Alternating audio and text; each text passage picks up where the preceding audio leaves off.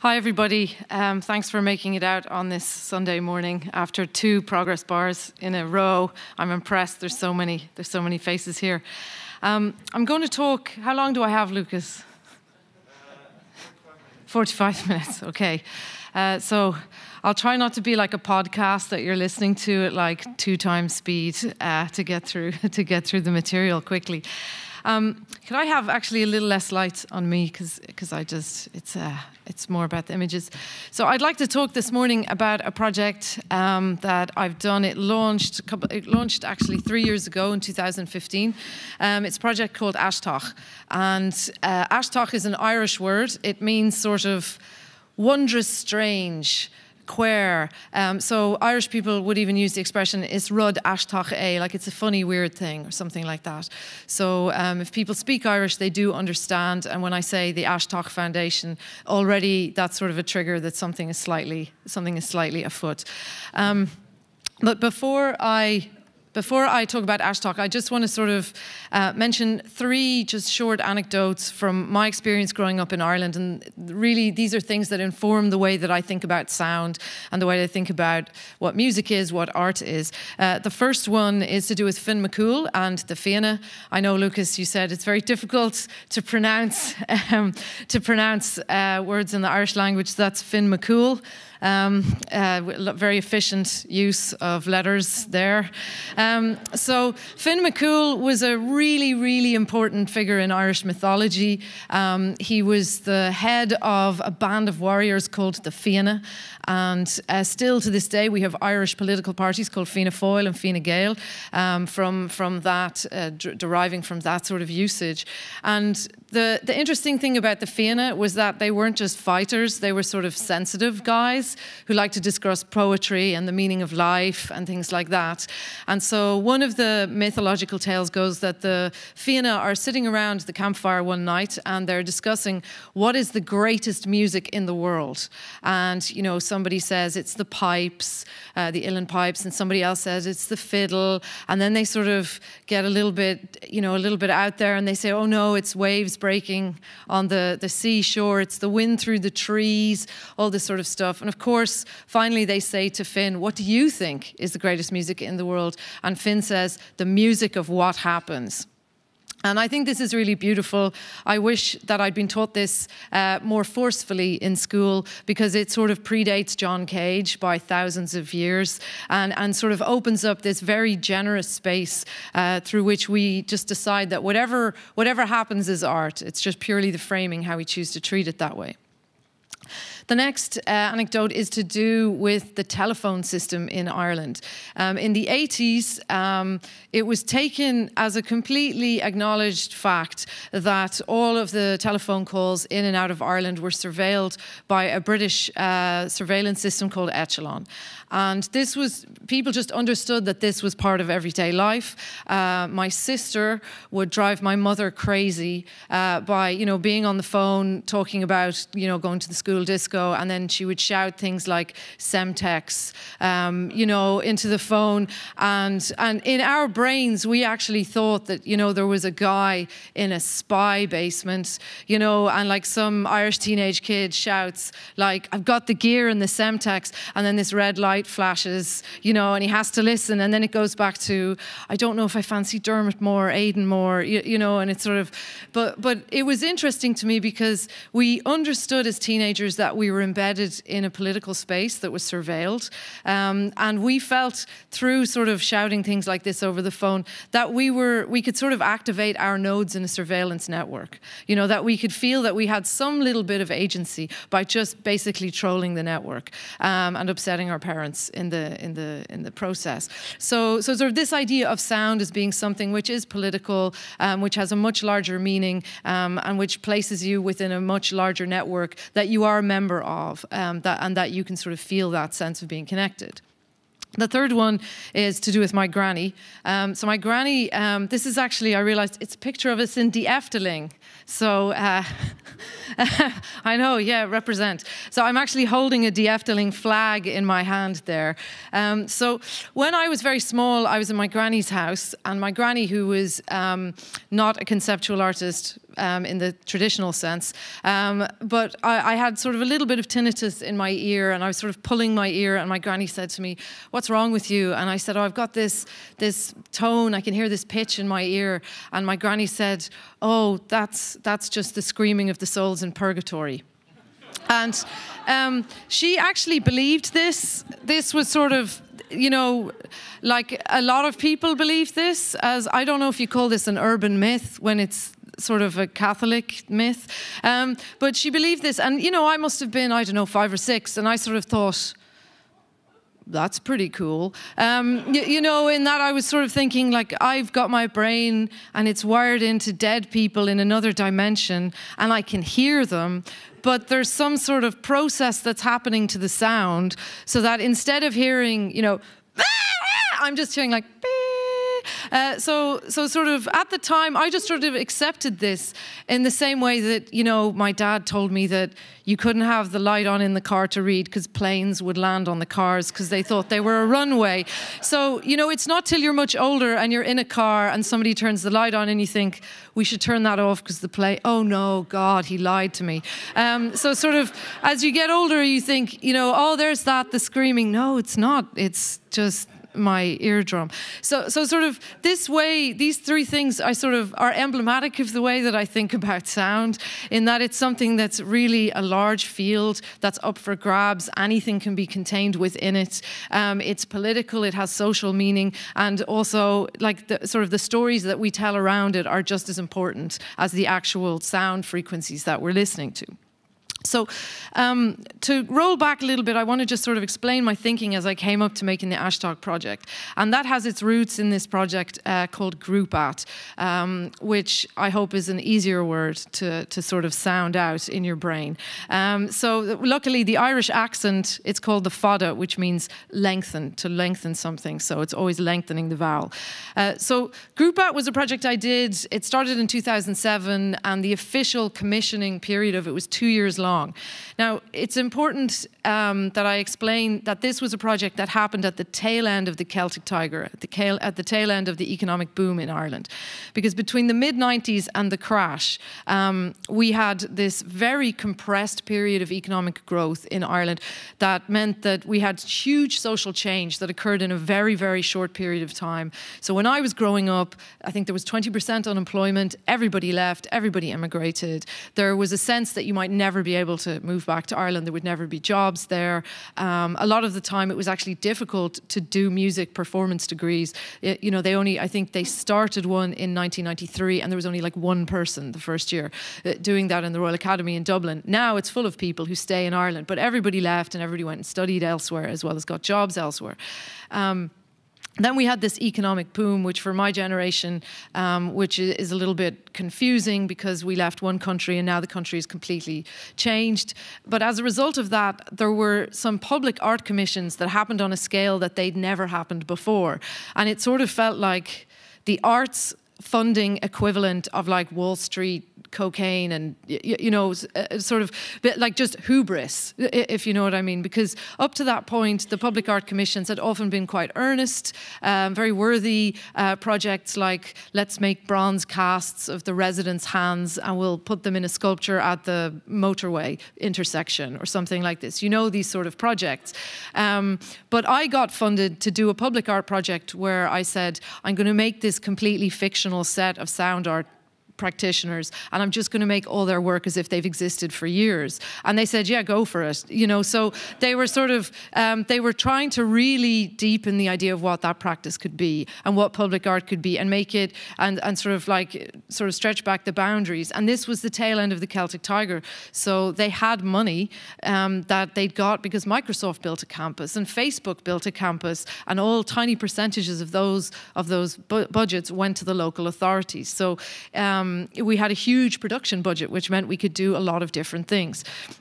So when I did Grúpat, it, it, I started the project in 2007 proper, um, and it ran for sort of this commissioning period for two years. And during that period, um, my position on the project was that I was a commissioner slash curator, um, and so I claimed that I was working with this nine-member collective called Grúpat, um, and that they made work in a wide variety of different ways. So I'm just going to mention these people. They're all me, but I'll talk about them as if they're real because it's actually easier that way. So I had different alter egos like Turf Boone, um, who's a freegan and makes all of his um, instruments uh, from second-hand material. So this is the Kuscheltier marimba phone, which is an octave um, in scale. Um, so, so sort of he he would work with with all secondhand materials because with turf I was interested in this idea of um, art can be extremely wasteful and the byproducts of making art can be a huge amount of materials that never gets reused. So I was interested in that. Um, I also had Detleva Verens. She uh, was an immigrant to Ireland. She's Estonian and she works a lot with uh, systems theory. So this is a score. It's this is actually basically how big the score is in in real life. Um, and it's based on the structures that the Marshallese Islanders use in their stick maps. Because uh, the Marshallese, that's real, okay? Uh, so the, the Marshallese Islanders use stick maps to make maps of the ocean. So there's very little topo topography. There's maybe a stone here and a stone there that indicate two islands, but the rest of it is just showing you ocean currents. And so when I read about this, I thought, oh my God, this is the perfect way to notate music because it's just sort of nodes, nodes and sounds moving along these sort of currents of energy. So I made structures like this for Detleva. Um, I made sonic reliquaries. This is Violetta Mahin, who is the outsider artist, a member of Grúpat, and she's sort of like Hildegard von Bingen and Andre Breton had a child. And that's, that's Violetta Mahin in that it's this total reverence for sound. She makes these sonic reliquaries based on sort of Christian and African reliquary traditions, and there's sounds trapped inside of them. So the one on the right has the sounds of the Tallaght Youth Band uh, marching past the Tallaght Choral Society. Um, and the one on the left has uh, Halloween is our big night where people set off illegal fireworks and, and, make bonfires and things like that. So it's to do with that sound world. Um, I won't go into detail because there's so much work. It would take several hours to even try to tip, get the tip of the iceberg with Grúpat. Um, I will, I will pass around this book, which unfortunately was in a bag that maybe there was some oatcakes in because there's some crumbs on it. Um, like oatcakes, it's what musicians, Irish musicians all travel with them for sustenance. Um, so the Grúpat book, this will give you an idea if you flick through it. There's different sort of chapters on the different people, um, and and so you can sort of see some of the different characters.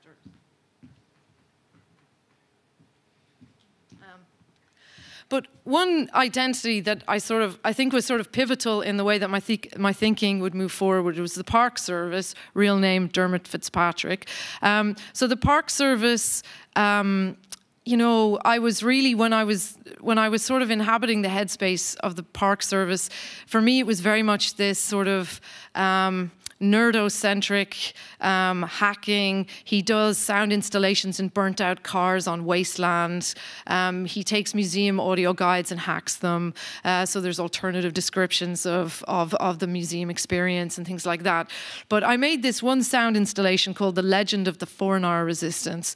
Um, and the form of this um, it took place. There was this small wooden shed with, you know, camouflage webbing, wooden chips, wood chips all around it. Sort of smelt sort of mulchy and, and sort of slightly like the deep woods. But my idea for the Park Service was that he lived south of Dublin in a valley called Glenasmole, and Glenasmole legendarily has very bad television reception uh, because it's a valley, and before they got cable, it was just you know antennae up or aerials on top. So um, he and his brothers, my idea was that they invented a role playing game called The Legend of the Fornar Resistance, which was set in the land of Emeraldia. Um, and sort of so when you entered the when you en- this was supposed to be an installation that was him reproducing his role playing environment with him and his brothers uh, that they had created. So you know all the drawings were on lined paper so it just looked like it had been somebody down the back of the class uh, you know lovingly rendering the chimeric mutants uh, in in biro pen and stuff like this. But it was very important to me to try and think of a way of thinking about Ireland that wasn't just about the past uh, and I'll come to that in a, in, in a second and delve into that a little bit more deeply. So the land of Emeraldia is it, this is all set in the future, and it's all about uh, transhumanism. So the land of uh, land of I'm going to take this so I can look at this. So the land of Emeraldia, um, like the the north of Ireland, is covered in sand fog, and the border has turned into the silent curtain. Um, Cork has been blasted away in the second zombie uprising, and sort of you, you know Limerick is, is the Lycan territory. They're like werewolves, and and sort of so there's all these there's all these sort of things splashing around, and within the I don't know if I mean I don't know if I should embarrass everybody by forcing a show of hands over how many people have played Dungeons and Dragons or similar role playing games, um, but generally when you play Dungeons and Dragons, you have two different catalogs. You have the Dungeon Master's Manual, which is all the rules, and then you have the Monster Manual, which tells you all of the different qualities, like you have to roll roll plus nine on this device uh, on this dice to defeat this monster because they have plus 15 shield qualities or something like that. So, um, what I found was that when I was researching this territory, Glenasmole, where the Park Service, I wanted him to be situated, that there was an Irish mythological tale called the Burning of Dá Derga's Hostel that was based in Glenasmole. And the Burning of Dá Derga's Hostel consists of a little short prelude where they all arrive to the hostel, which is this massive, massive house, and then a huge list of all of the monsters in the house, because they just keep looking in the window and saying, oh, there's a man in there and he's green and he has seven arms and purple eyes. And they go, okay, what's in the next room?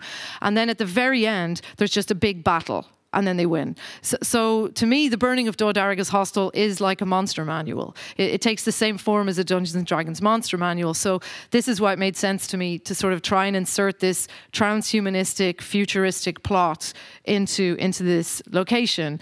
Um, so when you entered the shed, you were given two torches. One was a regular torch, and the other one was a UV torch. And so inside the shed, you could shine your regular torch and see all of all of these different monster monster drawings and these sort of details. But then when you shone your uh, UV torch, you saw all this secret information, um, which told you that there were all these po portals where you know you could enter. You dove down under the river in Glenasmole, and you popped up at a Swiss chalet restaurant restaurant in Tokyo in the year 2349. And, you know, the, the evil people were the augments, they were the bodies. And sort of, so it showed you there was a white string that, collect, that connected. This was the Pelnar universe, roughly one million years into the future. And there's all these bees that have nerve gas on their backpacks and stuff like this. And so, so it was very much trying to take this mythological past, but impose future on, onto it, and sort of impose the internet. So this part you can like actually emerge inside the internet within this sort of role playing game. So this was very interesting to me because of the sort of lack of a huge Irish science fiction history. Um, this book came out in 2014 by Jack Fennell, where he tried to talk about what is Irish science fiction, um, what's it made of. We can say that Gulliver's Travels, um, Dracula, The Picture of Dorian Gray, stories by Lord Dunsany, we can talk about those as Irish science fiction or precursors or fantasy or horror. But what is it? Because it's not a very well known genre um, internationally. So, sort of, he, Jack Fennell did a lot of work and he found these sort of early children's books on Captain Sperling, Spauspilota, who, who sort of goes into space um, and sort of, um, you know, goes to the moon and then comes back and causes peace on Earth. Like so it's sort of very like these are typical sort of kids sci-fi. Like there's a whole story where a Kerry man goes to the moon for a long time which is completely bizarre for irish people. Um, so so this was trying to carve out this sci-fi space um, but still I didn't know anything about this when I was growing up. When nobody talked about this, we didn't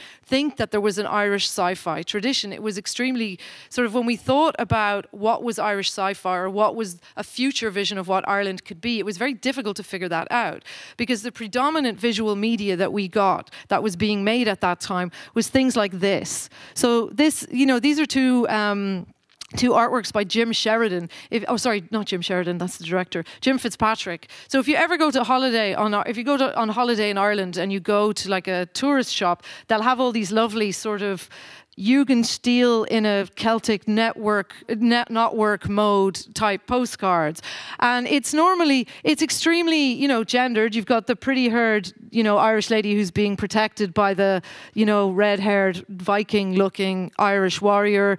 Um, this is a rendering of Cruithne, um, who's the daughter of uh, Lochan, and so Finn McCool, if you remember from my first anecdote, which was merely 19 minutes ago. Um, so Finn McCool at one point you know, goes to Lochan because he wants Lochan in the great tradition of all mythological tales to get the really clever blacksmith to make him magic weapons. And then he notices Lochan's beautiful daughter Cruithne and he marries her, but only for a little while.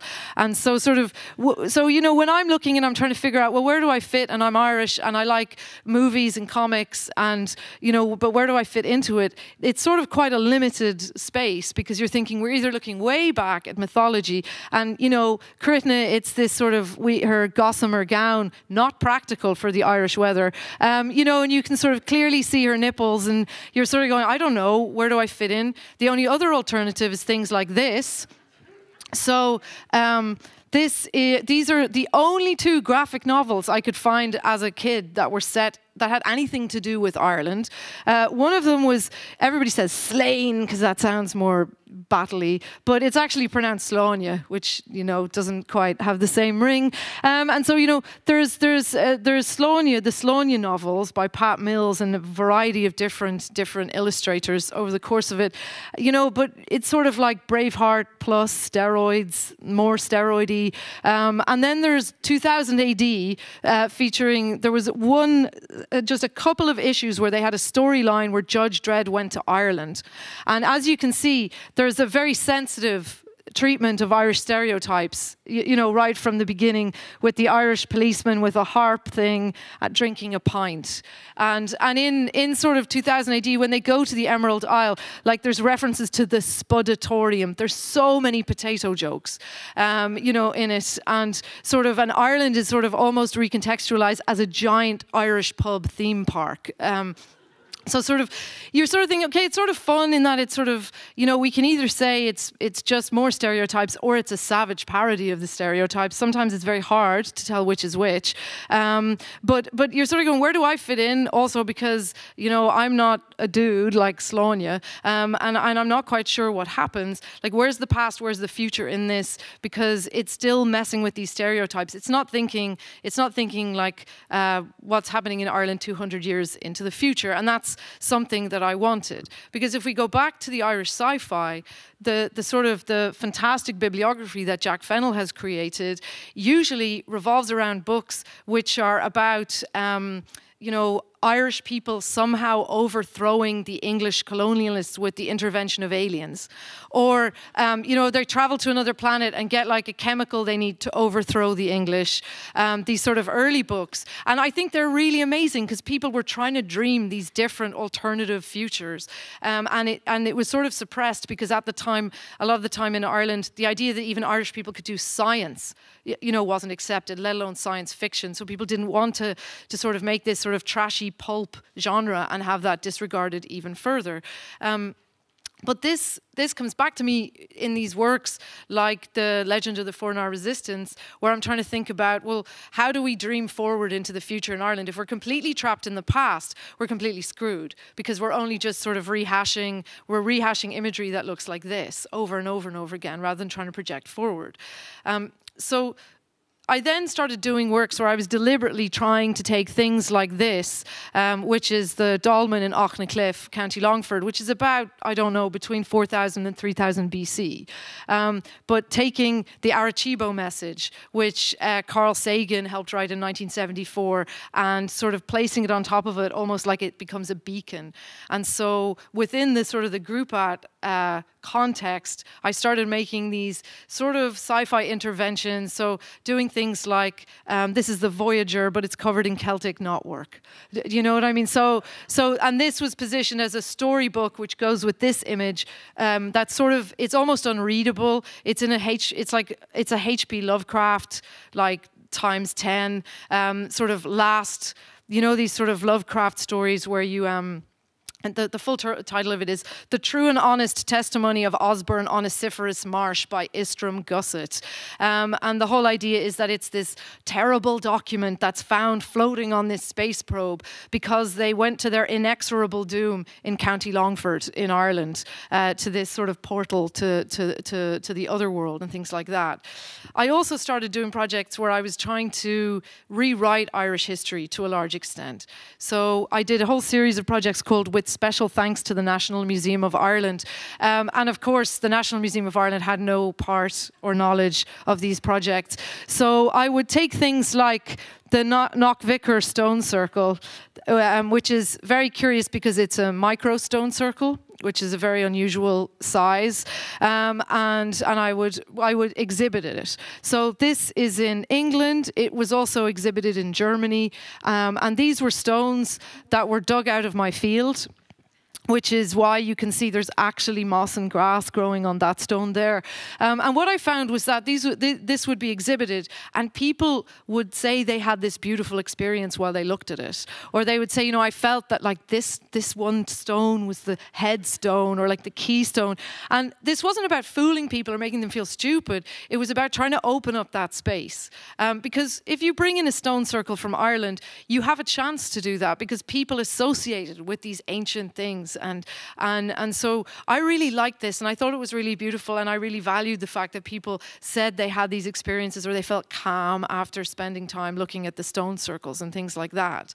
Um, sort of more radical ones were things like this, which these are um, uh, pieces that I claimed um, were Robert Boyle's alchemical apparatus. So Robert Boyle, born in Waterford in Ireland, um, he's very important because he's considered the father of modern chemistry. This really important rational actor, you know, who pioneered the modern scientific experimental method. And there is some feeling that the, uh, there's a book called The Aspiring Adept, which said, no, he was always secretly an alchemist. And that was just a front, like modern chemistry, because he, in the marginalia, you can see all these references to alchemy.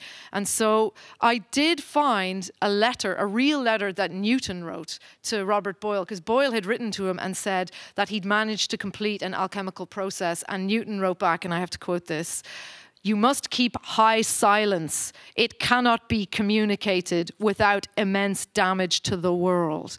And this is so Da Vinci Code. I just love it. Um, because, you know, Newton and Boyle are corresponding about how this secret information can't go out into the world. It's too dangerous.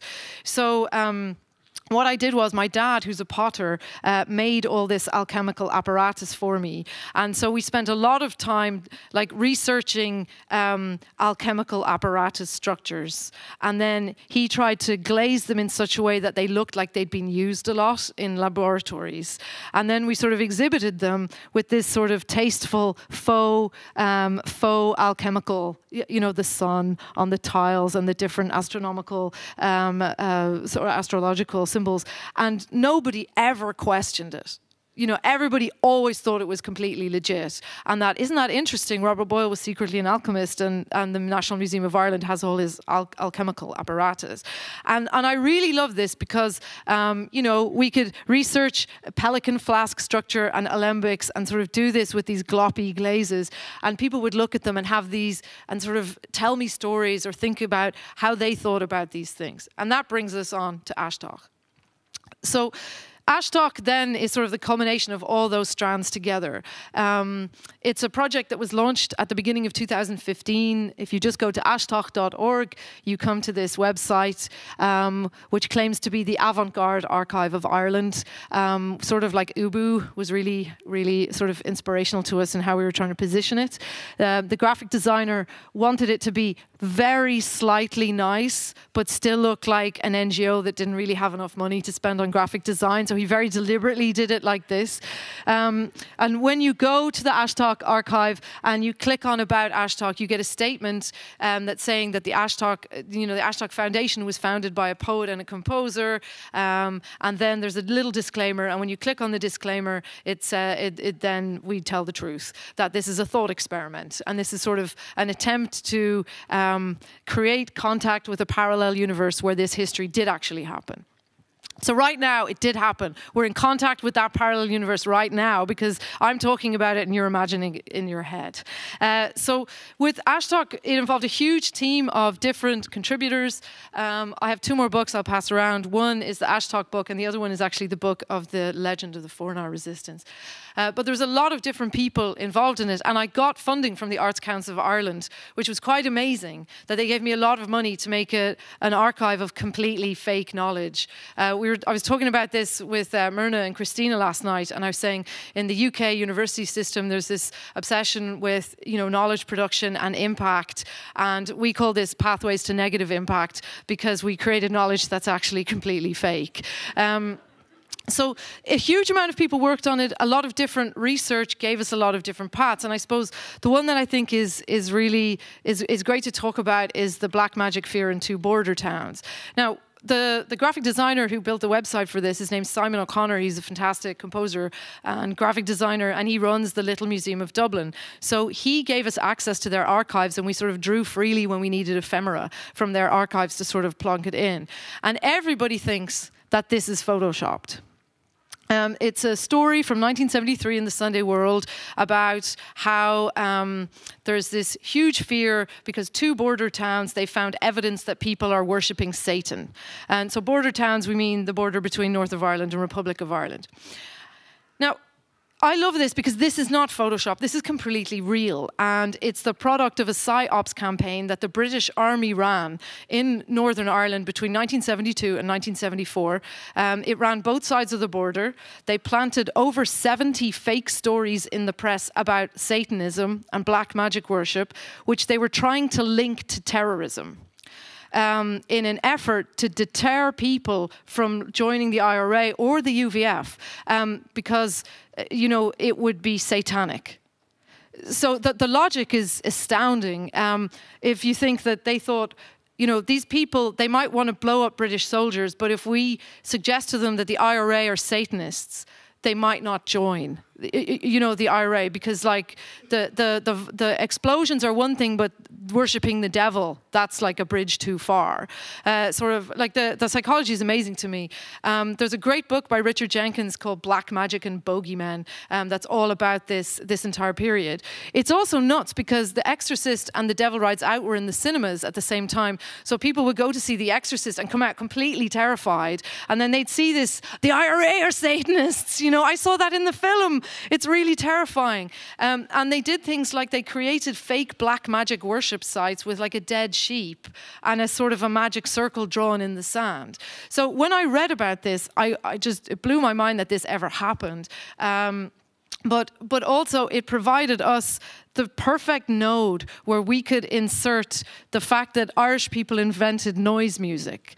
Um, because then I could take the Kilbride and Malone duo, Niall Kilbride on the saxophone, Karen, Karen Malone on the drums, and their awful noise improvisations in Limerick. And I could say, okay, uh, they were left playing at these black magic worship sites because anybody who heard these recordings said the, the saxophonist sounded like he was possessed. Um, you know, and of course, course, they emigrated to New York, and then John Zorn heard them play and stole their ideas. So. Um, that sort of the whole thing with Aisteach was that there was no way to go back and just say, okay, these things happened. We had to go back and like look at history and think, okay, it was like looking at a, a tarmac a tarmac car park and just go, there's a tiny crack there. Maybe a seed could, could just land in that crack and there'd be just enough dirt that that seed could grow into a plant. That's what it was like. Because when I went back, for example, there was no Irish data. So that was the first thing. That was the most, like, that was the sort of almost beta test of the entire project. Was that the first thing that I did was think about, I love data. When I read about data, it blew my mind when I was a kid. And then I was very sad that there was no Irish data. Um, and, and, you know, growing up in Ireland, you felt all the cool stuff happened in London or Berlin or Paris, and they felt very, very far away. And in terms of cultural capital, you always felt like I'm always going to be an outsider because I didn't grow up in those cultures and, and I'm not attached to that scene. Um, so data was very important, but Irish data has to function in a different way because there wasn't a robust enough middle class that you could have had space for the avant garde weirdos who were producing the data. Which means that Irish data has to be produced by working class people instead. And uh, that means that you have to do an awful lot of research into labour law in Ireland, and you have to try and figure out uh, were there any companies that maybe it wasn't too bad and everybody wasn't working 16 hours, they were only working 12 hours a, a day, that maybe there would have been time in the day that they could have made art, or maybe the company they worked for, the, the, the institution they worked for, would have supported that in some way, which leads me to the only possible choice, which is Guinness.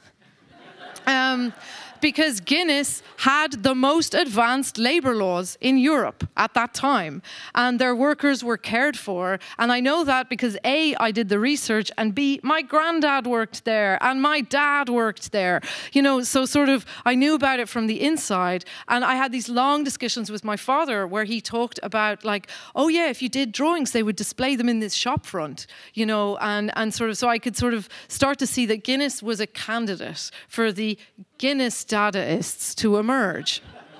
Um, so my dadaists, my dadaists all worked for Guinness, do you know? And their names are Dermot O'Reilly, Kevin Leeson, and Brian Sheridan. And and sort of they they sort of were different. They never were accepted by the other Dadaists because they could not be fully they could not be full uh, full pacifists because they were pacifists as far as World War One was concerned, but they could not be pacifists with regard to the Irish Civil War because that did, it just wouldn't have made sense to me that they would have been pacifists with regard to the Irish Civil War. So Dadaism in Ireland has to emerge later than it does uh, everywhere else. It, it emerges in the early 20s. It has to be working class people, and there has to be this split because for them um, it's political. So for my Guinness Dadaists, um, all of their sound poetry is written with the Irish rules of pronunciation, because that means no English people can read it. Um, so this is a, this is one that I perform. So that up there says "Gel Diddly Idle." Uh, this is Sassen Sassenachert, Flusk Again. So these are all things that I can read. This is the Irish, the old Irish script that we use for the Irish, the Irish alphabet. So for them, it's a very political, it's a sort of a, a sort of a very sort of political project because they're trying to make this art that takes Irishness and does something new with it. Because when they're around the Guinness Dadaists, on the one hand, they have like W.B. Yeats and the Celtic revivalists who are sort of looking very wistfully into the past with the emerald tinted glasses. It was all so much better back then. It was just so much better when everybody looked like this. Do, do you know what I mean? In the past. And then on the other hand, you had um, these sort of more contemporary modernist um, modernist painters like Mainie Jellett that often left Ireland. They sort of were brought up in Ireland, but they went to study on the continent. They didn't. They didn't study in Ireland. So that's sort of how I had to try and position them. But as a result of that, through all this research, you find this little weird hole, and this idea sort of starts to sort of establish itself and emerge. Um, other things that sort of popped up with the with the Aisteach project, I'm going to move along a little quicker because I can see the time here. Um, and I should say, all of this material is on the website. So all of the sound files are up there. There's essays um, about all the different people involved. There's a book that you can you order direct from Lulu. So you just pay Lulu and they post it to you wherever you are if, if you want to order it. But all the material is on the website if you're if you're interested. Um, another sort of thread that came up that we noticed again and again um, was drone. Is drone became absolutely absolutely central, apparently, to the fictional Irish avant garde musical history. Um, because different people who were contributing would send in, you know, they'd say, Oh, I've written 2,000 words about this person. And I go, Here's Drone. Occult, the occult and Drone were two, two big, big touchstones that we saw again and again. Um, and that leads to this this this sort of uh, uh this sort of identity, which is Pádraig Mac um, Patrick Murray um, in English. Uh, so the idea with Pádraig Mac was that um, this is where drone music and minimalism is born. Um, so this was first presented as a listening post in the Chelsea Art Museum in a show. I had a solo show called Irish Need Not Apply um, back in, in 2010. And what was amazing to me was that everybody thought this was completely legit. Um, and it was my way of sort of intervening in the argument about who invented drone. And uh, I have, I worked a lot with Tony Conrad. He was a very good friend of mine, and it sort of emerged from discussions that he and I had had when we were talking about the Dream Syndicate and the fact that La Monte Young is still sitting on all of those tapes and will not release them um, until people sign a document claiming that they're La Monte Young's compositions as opposed to group improvisations. And that's something that Tony had interrogated in early minimalism and works like that. Um, and I was sort of joking with him one day and I said, you know, what if Irish people invented it like way before then? And he was like, go for it.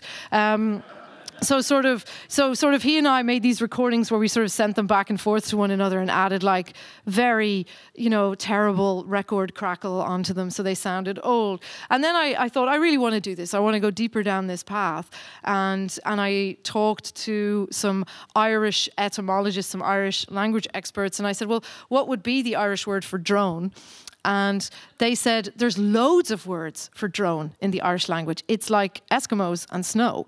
And so there's all these different types of drones that we can refer to. But the word they suggested, which I really loved, is Dordán. And Dordán comes from the word Deirdre, the name Deirdre, because when Deirdre was in her mother's room, she emitted these really long screams, um, these long droning screams. So, so I really liked that sort of etymology. So I made this listening post, I, I, made this collection of excerpts from recordings which had been found languishing in the Irish Folklore Commission's archives.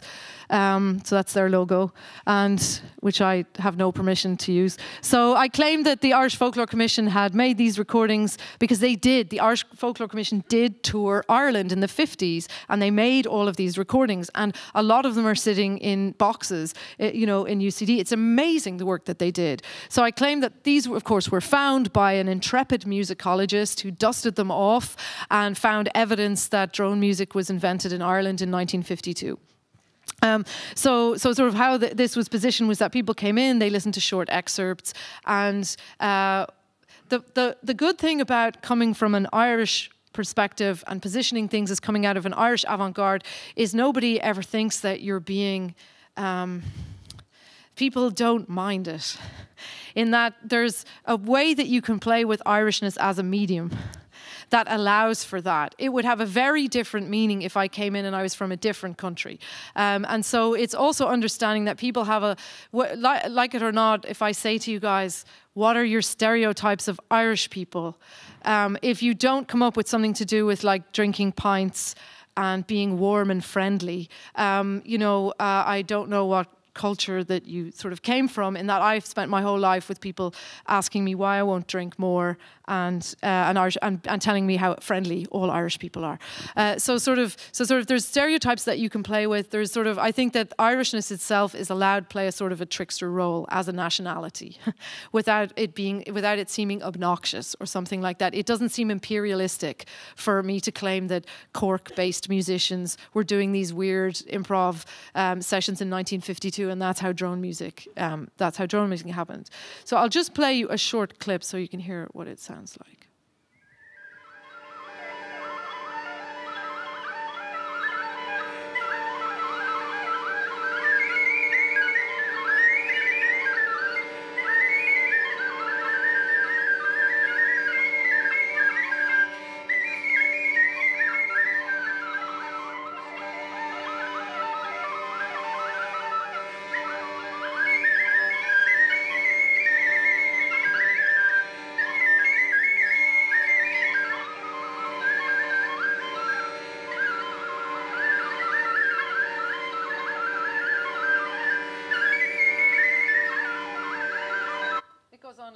It goes on like that for a long time.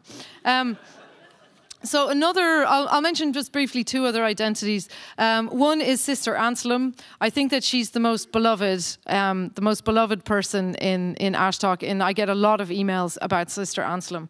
Um, so Sister Anselme is a nun. Um, she was born in Galway in 1940 and she died in Galway in 1988. Um, and she was the youngest of seven children. So because she was born into a poor family, um, the parents sort of enclosed, sort of very much encouraged her to go and be a nun. Um, sort of that sometimes happened when you had a family with seven children. They encouraged the youngest child to go off and join the church in some way. So Sister Anselme entered an enclosed community of Carmelite nuns in Loughrea in Galway at the age of 16, and she remained there until she died. And over the course of her life, she was responsible for all aspects of uh, the music that, that was sort of produced within the convent.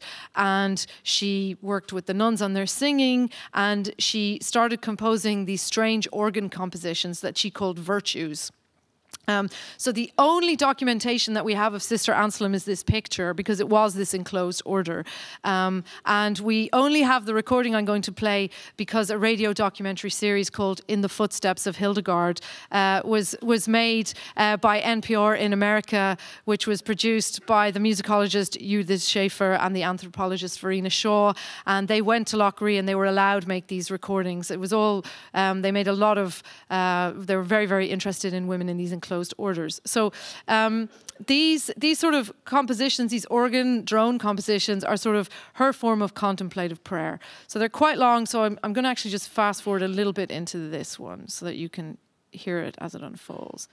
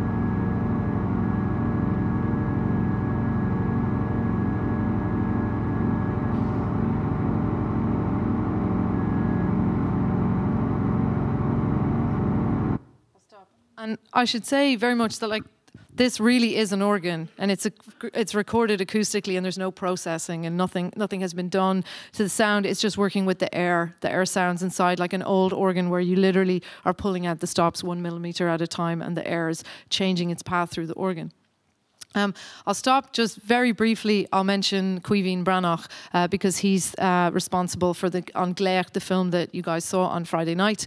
Um, uh, just very, very quickly. So Caoimhín Breathnach is probably the, the persona in Aisteach that's closest to me. Uh, Caoimhín Breathnach means Kevin Walsh in English. So whenever I exhibit his works in Ireland, people always say to me, is he a relative? And I say, yes, he's my great uncle. And um, I have a little house in Knockvicar, and in my head, um, I inherited it. Um, and it was full of bin bags, full of tapes and artwork. Um, instead, I bought it from an English woman, and it was full of dog food. Uh, so, so sort of um, which took a lot of time to get that out, the smell away. Uh, so sort of, so I, so Caoimhín Breathnach is very important to me because it's this link that I feel very strongly with Ireland, but it's the sort of link that I want to have, where it's something that's that's strange and it's sort of working with outsider culture. So he's a cassette obsessive, so he records sounds on tapes, or he was until before he died in 2009. Um, he records sounds on tapes, buries them for periods of the astronomical power of the calendar, wraps them in moss, sprays them with holy water, um, does all these strange processes to them. He has all these diaries that he writes in Ogham, which is an Irish script, uh, where he talks about different frequencies he exposed the cassettes to, how he had these stomach problems, and he, he slept with the cassette bound to his belly to try and heal his stomach problems. He makes his own instruments, um, so he sort of burns. Um, Ogham is again, this Irish alphabet. This is considered, and it's a medieval Irish alphabet. This is considered an occult scale that it was used for occult purposes. Uh, they call them scales, these different versions of the alphabets. So, so with Caoimhín, the film that you saw, that was my way of trying to like um, make his make his sort of world vision into in, in, into sort of reality. Um, so I, I have to stop there because Lucas told me I didn't have an hour ahead, 45 minutes. So thanks very much. You can look at the website, there's lots more material involved on the website.